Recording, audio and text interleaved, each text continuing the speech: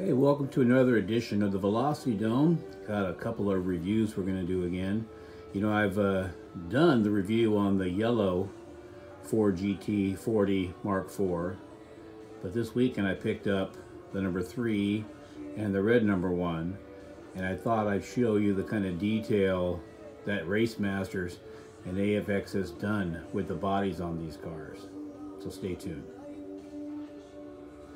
So on the review of the yellow number one, we talked about how fantastic the details are when it comes to the decals and the lug nuts on the wheels being different colors and such. But if any of you have these cars and have all three of these, have you noticed the detail changes in each one of these bodies? Same thing applies to the red number one. The decals are fantastic.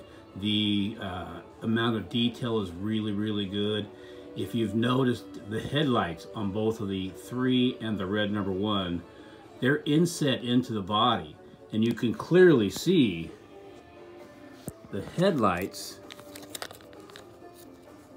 in there. And that is just, in my opinion, that is just really well done by Racemaster. I wish my, my phone would do a better job. But another thing, if you maybe haven't noticed on these cars yet, is the, the, yellow one has no mirrors on it. The brown number three and the brown number and the red number one, they have mirrors on them. But if you pay close attention, notice the left-hand mirror on the three is at the window. And the mirror on the number one, on the red number one, is on the fender. So that means it has to be you know, a couple different molds that these guys have done to make these cars look so spectacular. Anyway, I just thought I'd show you what I got. Let me know what you think. Enjoy.